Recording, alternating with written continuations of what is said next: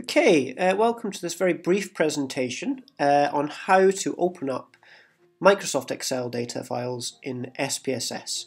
Uh, so we typically will make our figures uh, and do some calculations of descriptive statistics in Microsoft Excel, but we're going to do all of our inferential statistical tests in SPSS.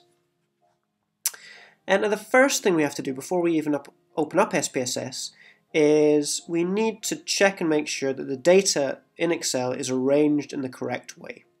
So if I just flick here to my Excel data sheet, so this is different from the one that you've got, um, but what we have to make sure is that our variable names are arranged in the first row uh, here along the top of our Excel spreadsheet and then each uh, new variable is arranged in a separate column. And then what we need to have is, to open up our data in SPSS is only the raw data values for each participant in our spreadsheet. Okay, so here we've got participant 1, they're female, they're 28 years old, they're 1.64 meters tall, and they're 58.1 kilograms, and then they've got a BMI of 21.6. And then each participant after that is arranged below uh, in each of these rows.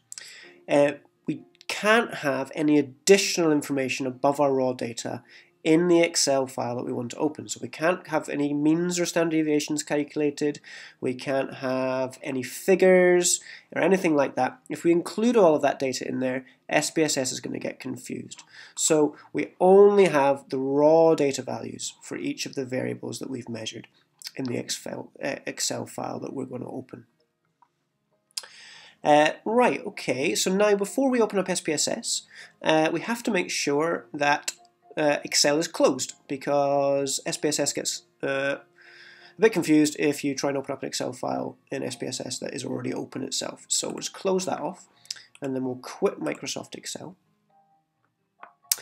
Uh, and then we'll open up SPSS. Now, obviously, I'm using a Mac, so it'll be a slightly different location than uh, for your PCs. If you get stuck trying to find it, then uh, just ask one of the demonstrators.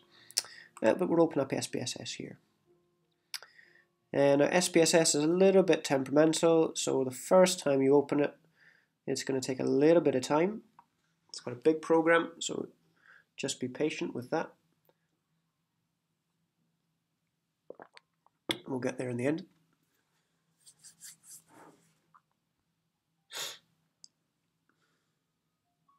Here we go.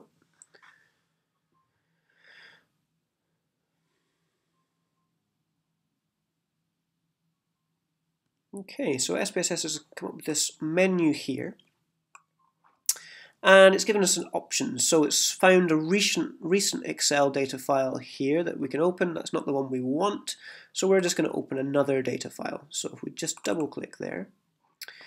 And now when you open up that menu, you'll see that uh, you can obviously look for different folders where your data is contained, but the first thing we need to do is at the moment it's looking for SPSS statistics files. So it's not going to find Excel files.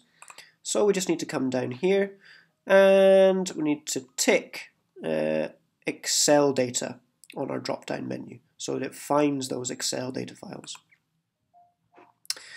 Uh, so then we go to our folder where our data is. So just save your Excel file on your desktop. And then you can see here I've got uh, a file here called Research Methods Test Data, which I'm going to open up uh, for this demonstration. So double click that. And then we get this menu behind here, so if we just move this on out of the way, uh, you can choose which worksheet you want to open. So we know that our my data, well, I know, sorry, that my data is on sheet one, so that's absolutely fine. Uh, and then you can just click OK.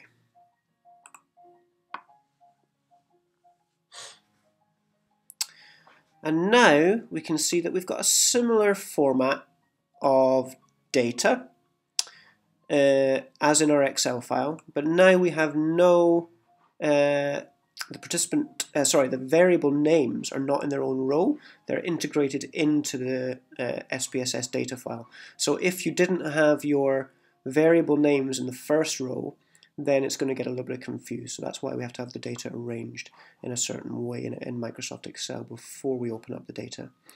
Um, But that's your data set open up. Then we just need to go through now and check that the data is, or SPSS has picked up the correct characteristics of our data. So you'll see down here, we've got two different types of views. We've got data view, and then we've got variable view. So we'll just flick across to this variable view just to check that the characteristics have, uh, have been picked up correctly. So we can check, and we can see that we want to look particularly at each variable. So here we've got the names of each of our variables. Uh, we want to make sure that the type of data that it's picked up is correct.